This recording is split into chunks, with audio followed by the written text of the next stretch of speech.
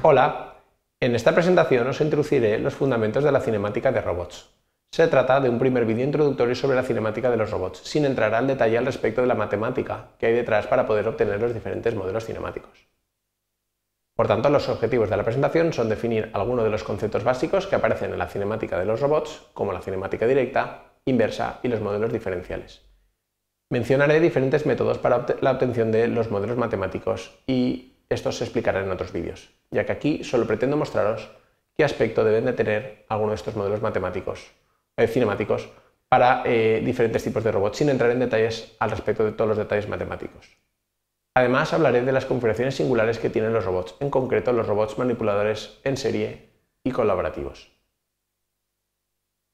La cinemática es la ciencia que estudia el movimiento sin considerar las causas que lo producen, es decir, las fuerzas que lo provocan. Solo tiene en cuenta las posiciones y las velocidades de los elementos. En un robot, la cinemática permite estudiar el movimiento con respecto a un sistema de referencia. Se trata de una descripción analítica del movimiento espacial del efector final, tanto en su posición como en su orientación. Permite, por tanto, establecer una relación entre el efector final y las articulaciones del robot en función del tiempo. Por tanto, eh, la posición y la velocidad también dependerán, del tiempo. La cinemática es la base para entender cómo se mueven los robots. Lo que aquí aprendamos tiene utilidad en un gran número de aplicaciones en la que los robots se mueven a una velocidad relativamente eh, pequeña. Sin embargo, no debemos olvidarnos de que el mundo real es dinámico y que por tanto si queremos controlar un robot tendremos que considerar no solo los aspectos cinemáticos, sino también los dinámicos. Podemos distinguir dos tipos de modelos cinemáticos, los absolutos y los diferenciales. En los modelos absolutos se expresan, eh, las variables se expresan mediante variables absolutas como son, por ejemplo, ángulos o desplazamientos de las articulaciones, o la posición y orientación del efector final. Mientras que en los modelos diferenciales aparecen las relaciones pero a nivel de velocidad, ya sean lineales o angulares. Nos referimos al modelo cinemático directo a aquel que permite determinar la posición y orientación del efector final a partir de los valores de las posiciones articulares. El modelo cinemático inverso permite obtener los valores de las, eh, articulaciones que son necesarios para poder alcanzar una posición y orientación eh, con el efector final. En los modelos diferenciales aparece el concepto de matriz jacobiana que permite expresar localmente el modelo del robot mediante una expresión lineal en las velocidades articulares. Como a continuación veremos, cada uno de estos modelos puede tener una utilidad diferente según nos convenga o no, y esto eh, tiene utilidad precisamente según cómo los queramos aplicar. Así pues, la cinemática directa de un robot tiene una solución única y que puede resolverse mediante métodos trigonométricos o mediante el método de Navier-Hartemer, tal y como se explica en otros vídeos juega un papel fundamental para conocer cuál es la posición y la orientación del efector final del robot dados unos valores articulares. La cinemática inversa de un robot suele tener múltiples soluciones, ya que son varias las configuraciones del robot que nos permiten alcanzar esa misma posición y orientación. Para los robots más comunes se dispone de una solución analítica, que es rápida de calcular, pero que puede producir soluciones numéricamente inestables, cerca precisamente de las singularidades del robot, que es algo de lo que hablaremos después.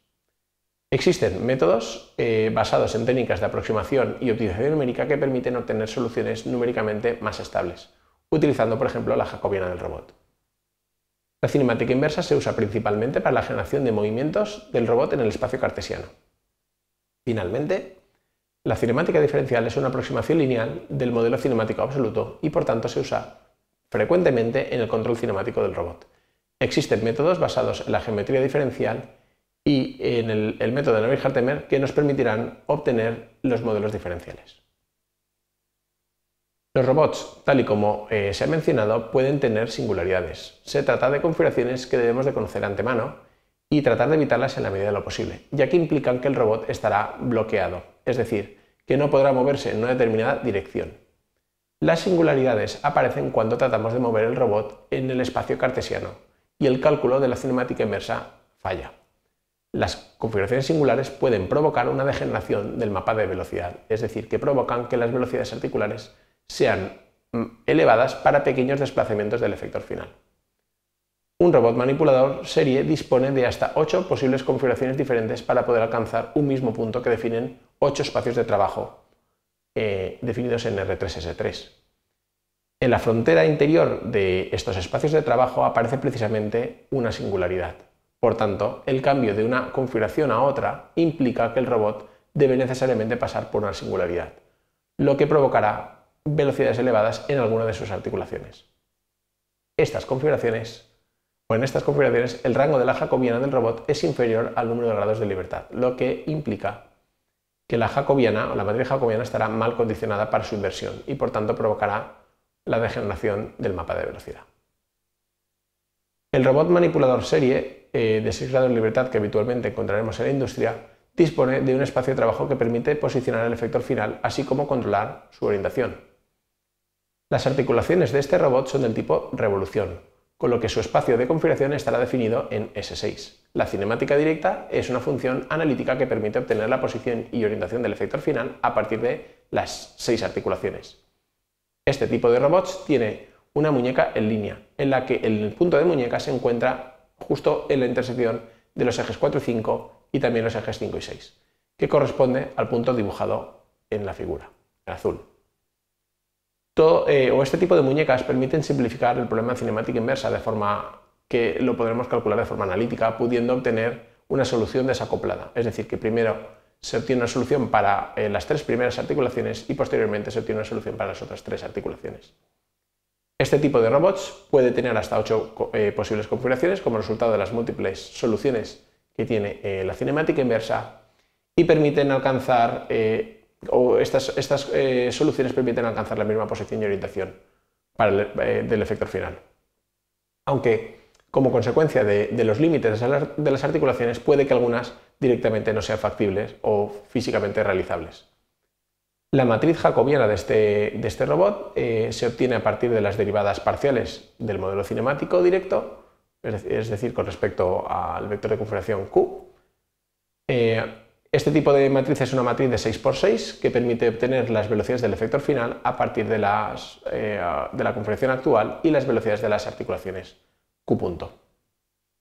La matriz eh, puede ser singular, lo que quiere decir que para determinadas configuraciones el rango de la matriz será menor que 6 y por tanto esto implicará que determinadas direcciones de movimiento no podrán realizarse. Esto es algo que se estudiará más adelante en otra presentación. Así pues, los robots manipuladores en serie tienen tres tipos de singularidades. La singularidad de muñeca, del codo y del hombro. La singularidad de muñeca ocurre cuando los ejes 4 y 6 se alinean y se produce el conocido bloqueo de Cardan. La singularidad de codo aparece en el cambio entre la configuración de codo arriba y codo abajo justo cuando el punto de la muñeca está contenido en el plano que forman los ejes 2 y 3. Finalmente, la singularidad del hombro aparece cuando el punto de muñeca pasa por el eje 1 del robot. Los robots colaborativos, como el que se muestra en la figura, disponen de una configuración cinemática muy similar al mostrado anteriormente, pero tiene una ligera diferencia con respecto al robot anterior. La muñeca de este tipo de robots no es una muñeca en línea, tiene los ejes 4 y 6 desplazados.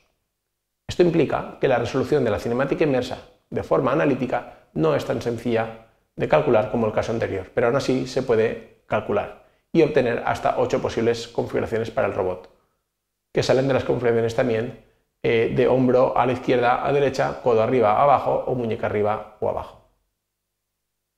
De forma muy similar, los robots colaborativos tienen el mismo tipo de singularidades. La singularidad de muñeca en este caso ocurre cuando los ejes 4 y 6 son paralelos, mientras que la singularidad de codo ocurre cuando los ejes 2, 3 y 4 están contenidos en un mismo plano. La singularidad de hombro ocurre cuando el punto en el que intersectan los ejes 5 y 6 está contenido en el plano, en el plano formado por los ejes 1 y 2. El robot Escara tiene un espacio de trabajo R3S1 que permite posicionar el efector final, así como controlar la orientación de la herramienta en el eje Z. Su cinemática directa es una función analítica que permite obtener la posición y orientación de la herramienta a partir de las cuatro variables articulares, siendo eh, tres articulaciones prismáticas, eh, perdón, eh, de revolución y, una prismática, la tercera. la cinemática inversa puede obtenerse o puede, tener hasta dos posibles configuraciones de forma analítica con el codo hacia la izquierda o hacia la derecha y se resuelve de forma desacoplada, ya que la posición Z y la orientación de la herramienta se pueden calcular directamente con las articulaciones 3 y 4, mientras que la posición X y del robot se controla con las articulaciones unidos. La matriz jacobiana es de dimensiones 4x4, relacionando eh, la velocidad, en este caso de, la, de, la, herramienta, con las velocidades de articulaciones. El robot puede tener una singularidad que hace que el rango de la matriz sea menor que 4 y esto sucede cuando los ejes están contenidos en un mismo plano, los tres ejes verticales que veis. El robot delta o paralelo dispone de un espacio de trabajo cartesiano que permite posicionar el efector final a partir de las tres articulaciones de revolución. Puede también orientar la herramienta gracias a una última articulación de revolución. Su cinemática directa permite establecer la relación de la posición del efector final a partir de las tres variables articulares. Al tratarse de un robot con cadena cinemática cerrada, el cálculo de la cinemática directa es algo más complicado que para el caso de los robots anteriores, ya que suele resolverse de forma numérica como tres problemas de cadenas cinemáticas abiertas sujetos a un conjunto de restricciones. La cinemática inversa de este robot es algo más sencillo de calcular, ya que se puede plantear como tres problemas independientes con una única variable articular a resolver en cada uno de ellos, y que se puede resolver de forma analítica. De hecho, puede obtener hasta ocho posibles configuraciones de forma analítica como resultado de las combinaciones de disponer soluciones de codo hacia arriba, eh, o sea, codo hacia afuera, codo hacia adentro, para cada uno de los brazos. Pero eh, la solución de codo hacia adentro no suele ser factible, con lo que en la realidad podríamos decir que en realidad dispone de una única solución. El modelo cinemático del robot cartesiano es muy simple, de hecho es lineal y totalmente desacoplado. Cada una de estas variables, eh, de las variables articulares es, prismática y se traduce directamente en un movimiento en la dirección del efector final. Así pues, la articulación 1 afecta a la posición X, la articulación 2 afecta a la posición Y y la articulación 3 afecta directamente a la posición Z. Los robots redundantes con 7 o más grados de libertad eh, disponen eh, eh, o podemos calcular un modelo cinemático directo exactamente utilizando los mismos métodos analíticos que en el caso anterior. Particularmente si utilizamos la metodología de David Hartenberg no hay prácticamente ninguna diferencia. Sin embargo, no podemos obtener un modelo cinemático inverso de forma analítica ya que son infinitas las posibles soluciones que podemos obtener. Lo habitual es que se utilicen métodos numéricos para poder obtener la cinemática inversa del robot, como es el caso de los métodos basados en la pseudoinversa de la jacobiana, por ejemplo. En esta presentación he introducido los fundamentos de la cinemática de robots que nos permitirá poder entrar en más detalles en el resto de presentaciones. Muchas gracias.